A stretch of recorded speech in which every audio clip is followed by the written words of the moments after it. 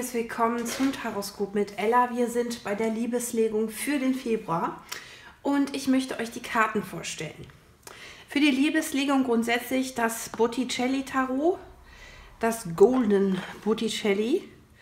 Und zwar ist das von Sandro Botticelli, das Tarot of Sexual Magic.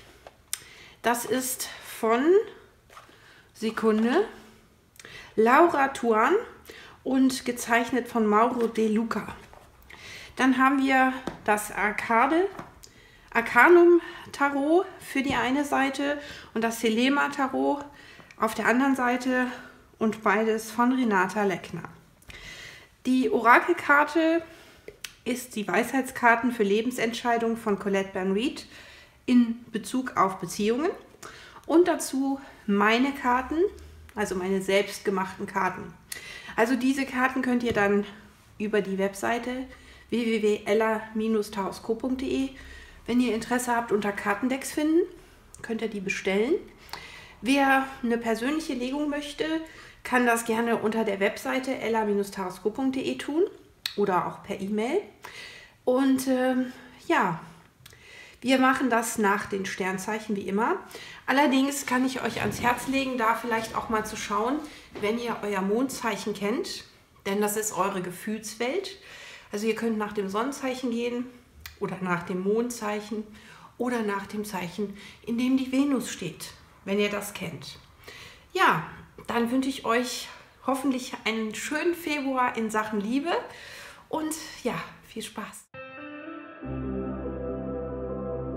So, meine Lieben, schauen wir uns an, was der Februar in Sachen Liebe astrologisch zu bieten hat. Und glaubt mir, da ist einiges drin, wobei nicht alles negativ und nicht alles positiv ist.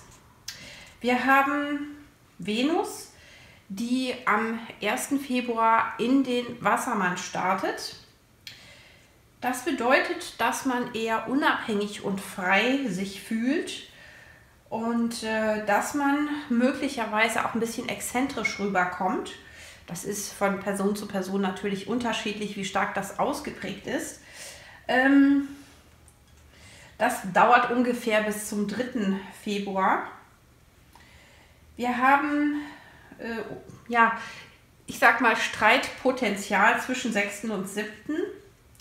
Denn wir haben eine Verbindung Venus, Saturn und später Uranus und ihr kennt das wenn, äh, konservat, äh, also wenn die konservative Seite von Saturn die Tradition bewahren möchte und Uranus auf große Veränderungen drängt, da prallen zwei Welten aufeinander.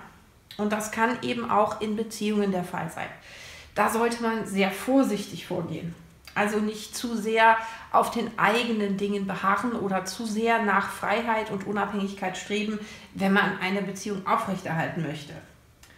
So, ähm, dann haben wir eine sehr explizite Spannung, die auf alle Bereiche wirkt, nicht nur auf die Liebe, das ist die Saturn-Uranus-Spannung. Die geht äh, vom 6. Februar an bis in den März hinein. Und den Knackpunkt erreicht diese Spannung am 17. Februar. So, und da haben wir halt diese zwei Welten, die aufeinander äh, treffen. Und dann haben wir noch Sonne, Merkur, die auch sehr egoistisch unterwegs sind. Also da kommt so ein bisschen, ich will aber jetzt meine Träume verwirklichen, um den 8. Februar herum. Und dann haben wir noch eine kritische Marsstellung zu Merkur am 10. Und da gibt es jede Menge Streitpotenzial, was man aber nicht unbedingt ausleben muss. Das bleibt jedem selbst überlassen. Also man sollte sich seine Auseinandersetzung gut wählen, ob es die Sache wert ist oder eben nicht. Ja. Ähm, wir haben am 11. Februar Neumond in Wassermann. Und da ist ähm, Harmonie drin durch Venus-Jupiter. Da kann man sich dann wieder ja, gut unterhalten, auf einen Nenner kommen, Kompromisse finden. Und äh, das beflügelt natürlich auch in anderen Bereichen, das ist ganz klar. Ja, das geht so bis zum 14. Februar, passt ja gut, Valentinstag. Ähm, was haben wir noch? Venus und Mars.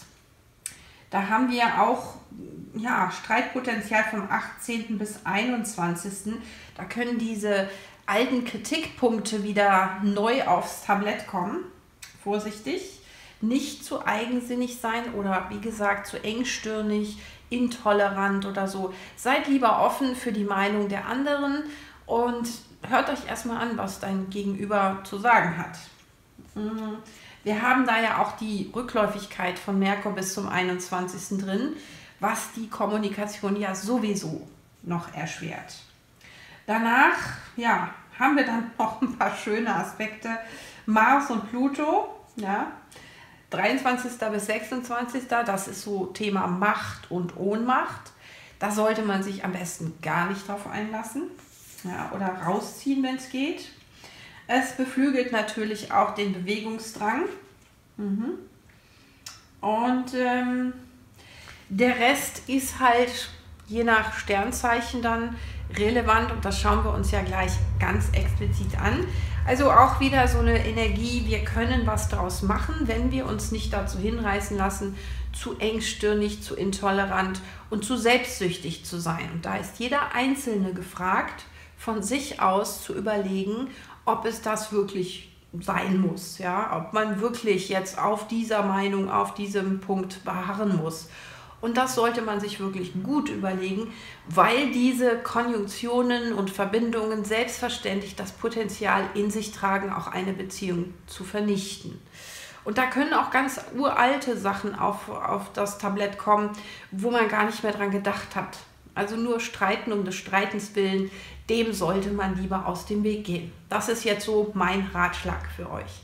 Aber das entscheidet ihr höchst selbst. Die Ratschläge könnt ihr euch anhören und äh, das gilt erstmal für Sonnenzeichen, fürs Mondzeichen, Venus, ja auch Aszendent, was für euch passt, was in eurer Situation also tatsächlich hilfreich ist. Und da könnt ihr euch natürlich alle Aspekte aus eurem Horoskop zu Rate ziehen. Und wir schauen uns das jetzt erstmal gleich an. Wir beginnen mit dem ersten Sternzeichen und es geht so weiter. Also, bis gleich. Ein herzliches Willkommen, liebe Waage, zum Taroskop mit Ella in Sachen Liebe, Monat Februar 2021. Und wir wollen schauen, was astrologisch erstmal so für dich drin ist. Und ähm, Jupiter befindet sich bis zum 14. Mai im Wassermann und damit einem benachbarten, nee, will ich nicht sagen, Schwesternzeichen von den äh, Luftzeichen. Ja? Ist ja nicht benachbart von dir, sondern weit weg. Und ähm, es bedeutet halt auch, Harmonie, Glück, günstige Zufälle und natürlich Anerkennung, Wertschätzung. Ja. Äh, Saturn, ja, hm, da ist Unterstützung drin. Man sorgt selbst für stabile Verhältnisse, das ist auch wichtig. Uranus hat keinen direkten, aber möglicherweise indirekten Einfluss durch die Konjunktion, die wir haben. Neptun ist auch nicht sehr, äh, also wird nicht viel äh, Auswirkungen haben auf dich.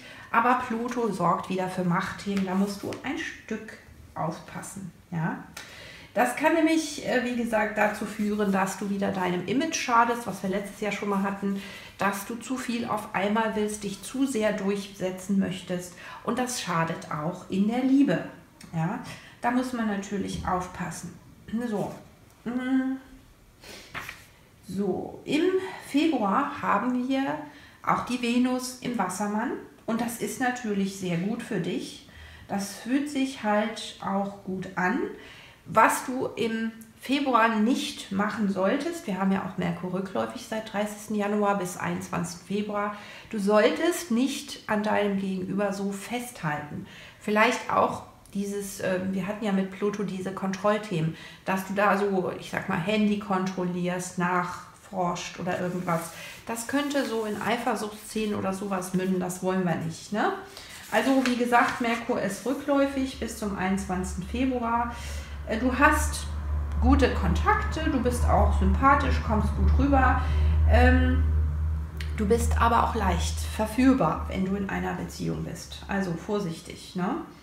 Ähm, wenn Merkur nicht mehr rückläufig ist, kannst du auch frei von der Leber weg mit deinem Partner, deiner Partnerin sprechen oder wie gesagt den neuen Kontakt intensivieren. Aber wenn du so, ich sag mal, von Blume zu Blume fliegst, dann wird sich da nicht viel tun, beziehungsweise könnte es Ärger im Paradies geben davor möchte ich dich warnen.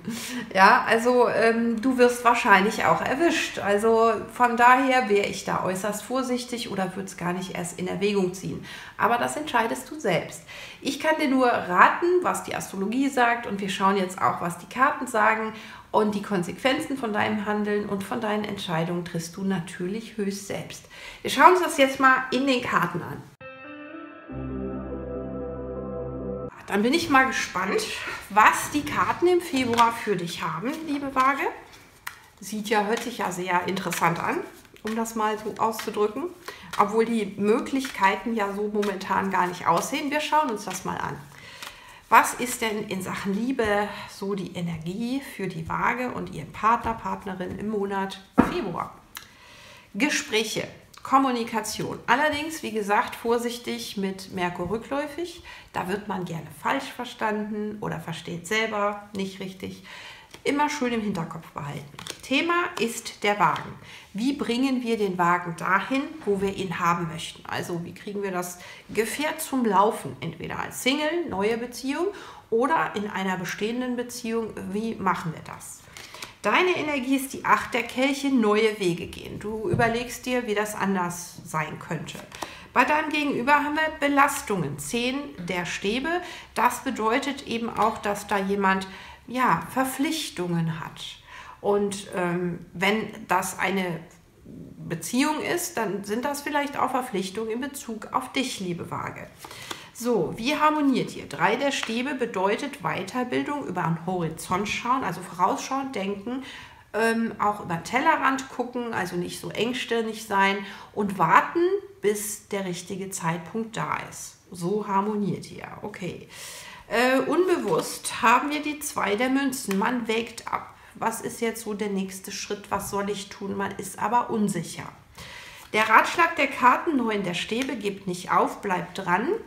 Verausgabe dich natürlich nicht, aber bleib an der Sache dran, es lohnt sich. Ausgang ist die Sechs der Münzen, ausgewogenes Geben und Nehmen. Und das ist ja auch wichtig, dass man fair miteinander umgeht und jeder ähm, gleiches Mitspracherecht, gleiches, Entsch gleiches Entscheidungsrecht hat und so weiter.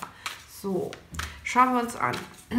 Der Wagen, Krebsenergie, Erfolgskarte, wohin steuere ich den Wagen? Wohin steuern wir den Wagen, besser gesagt? Was haben wir da? Wir haben den Stern oder die Sterne Wassermann-Energie. Wir haben jetzt gerade Wassermann-Sonnenzeichen auch und das bedeutet Heilung. Das bedeutet, wir kommen ins richtige Fahrwasser. Ne? Wir können aufeinander zugehen, wir können was regeln. Acht der Kelche, der Mond.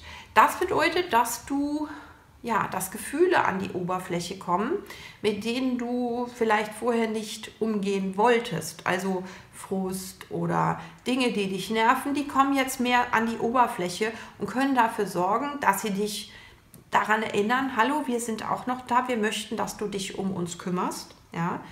Äh, es können alte Sehnsüchte sein, Dinge, die du immer so ein bisschen hinten angestellt hast. Bei deinem Gegenüber zehn der Stäbe und das Rad des Schicksals. Mit Jupiter dreht sich für deinen Partner, deine Partnerin oder potenzielles Gegenüber die Sache von den Verpflichtungen in eine positive Richtung. Das ist gut.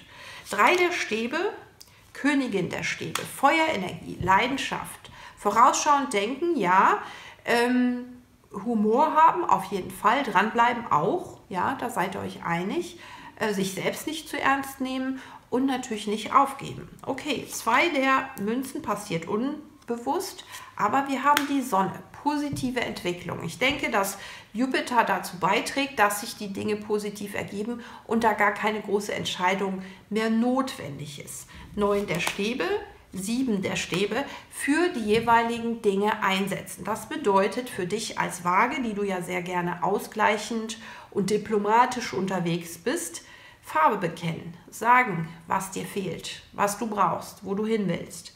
Das ist kein leichtes für dich, das weiß ich. Du bist sehr, sagen wir mal, Wie gesagt, du versuchst immer, dass alle glücklich und zufrieden sind, aber es geht darum, wirklich zu dem zu stehen, was dir persönlich wichtig ist. Ausgang ist die 6 der Münzen und die 10 der Schwerter, sodass man über Dinge, die in der Vergangenheit nicht gut gelaufen sind, besser hinwegkommt. Also dazu musst du tatsächlich Rückgrat beweisen, liebe Waage, und tatsächlich sagen, was Sache ist, was dir wichtig ist und was du nicht möchtest. Ja? Das ist die Kommunikation. Und das muss man natürlich in Beziehungen ein Stück weit vorsichtig formulieren. Ja? Das kannst du, da bist du sensitiv genug. Aber es ist wichtig, dass du dir vorher darüber klar bist, was es denn wirklich ist, was dich nervt. So, wir schauen mal, was für eine Energie du als Waage mitbringst in die Beziehung.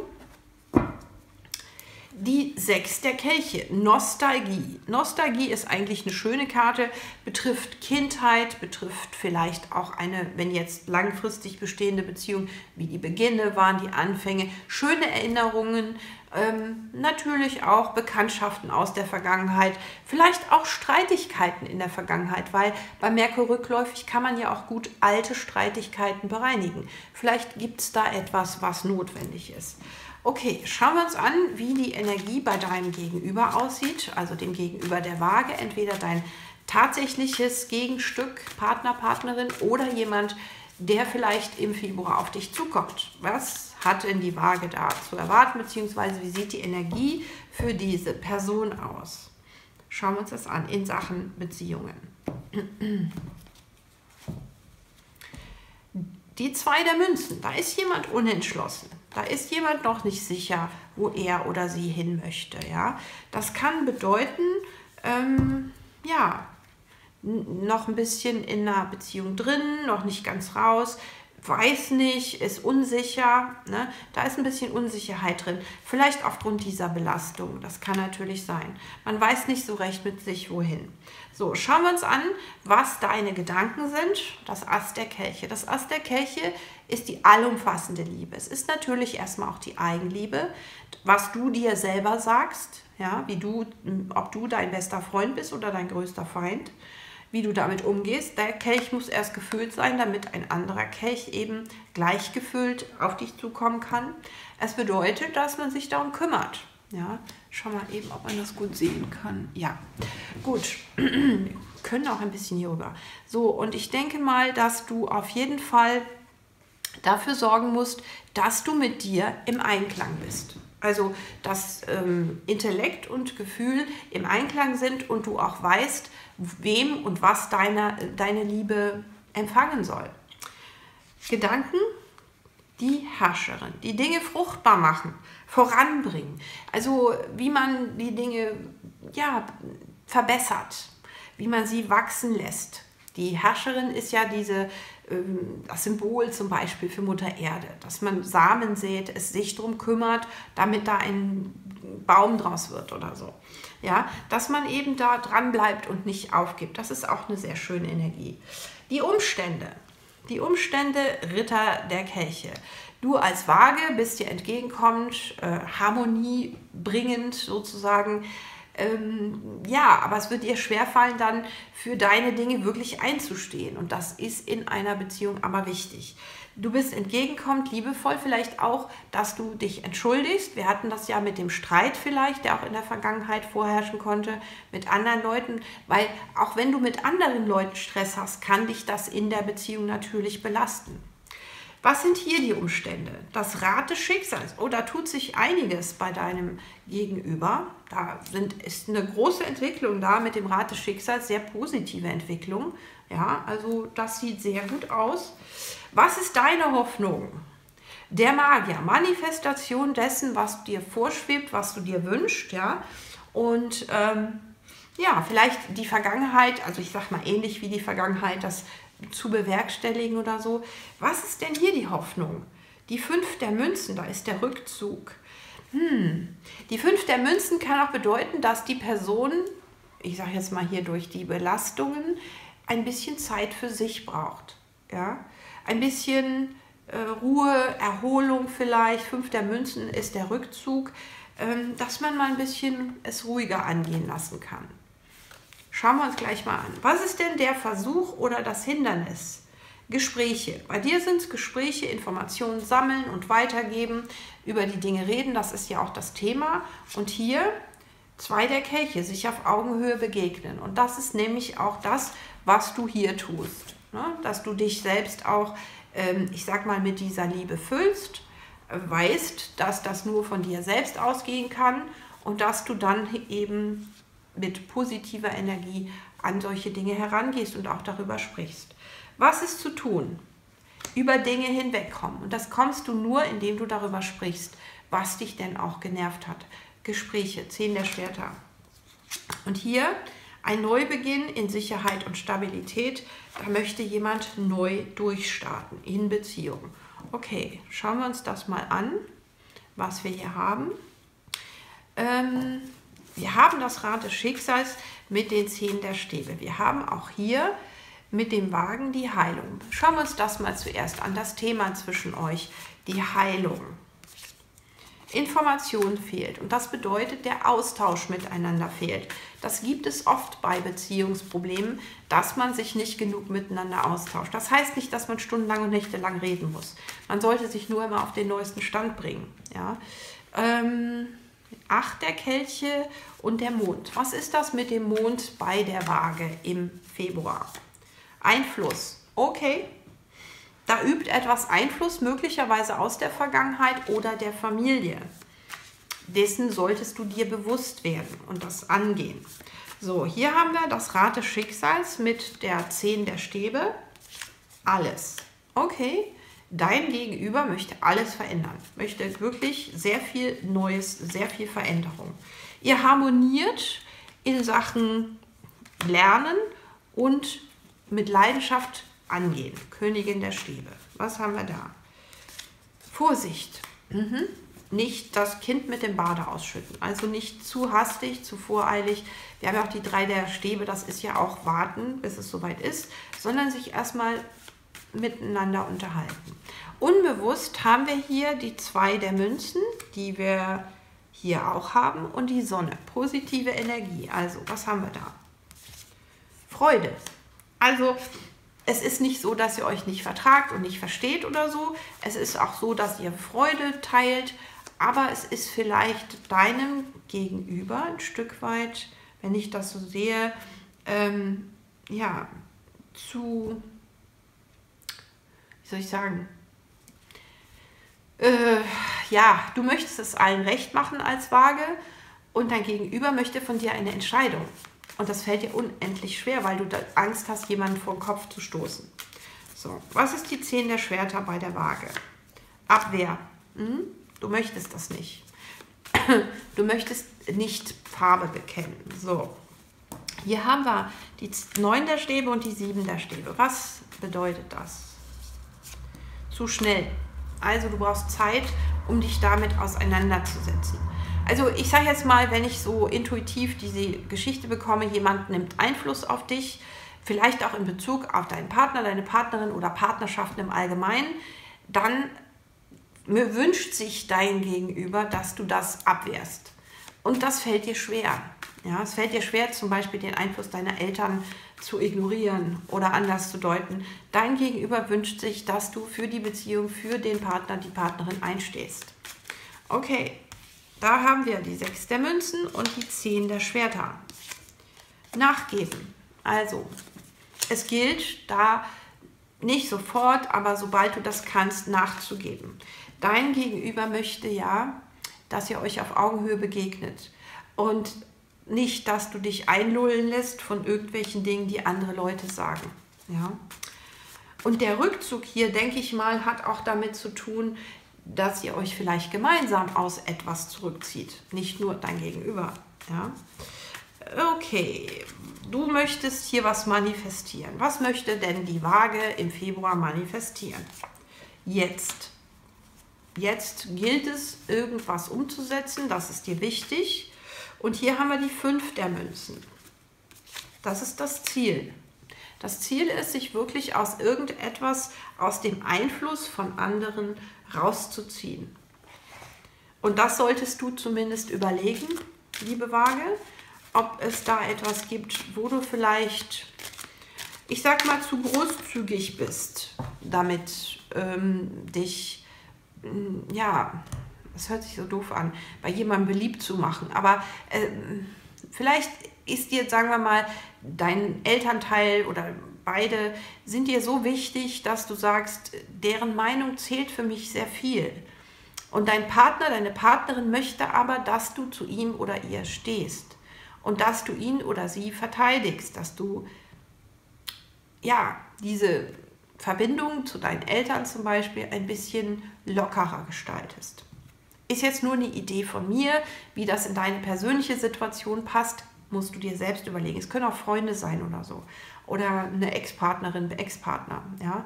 Je nachdem. Ne? Da gilt es aber wirklich auch Farbe zu bekennen und das wird dir auch abverlangt. Wir haben die Karte Chaos und Konflikt, die Nummer 33. Okay. Schauen wir uns an. Aber ich denke mal, wenn du ähm, wenn dir dein Partner, deine Partnerin wichtig genug ist, dann wirst du da einen Konsens finden. Wenn nicht, wird wahrscheinlich der Rückzug auch von, aus der Partnerschaft passieren. Die Grundbedeutung Durcheinander, Missverständnis und Widerstreit, Spannung der Gegensätze, der Vorrang des Chaos gegenüber der Ordnung.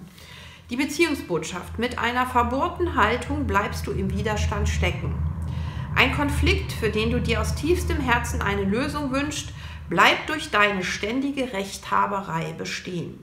Dennoch ist dies eine gute Gelegenheit, mehr über dich zu erfahren, wie du dich selbst wahrnimmst, was für dich Wert hat und was dir wirklich wichtig ist. Wenn es zutrifft, dass manche Dinge nicht verhandelbar sind, dann brauchst du darüber keine Debatten zu führen. Gelingt es dir, durch die aufgewühlten Emotionen hindurch den Weg zu einer höheren Betrachtungsebene zu finden?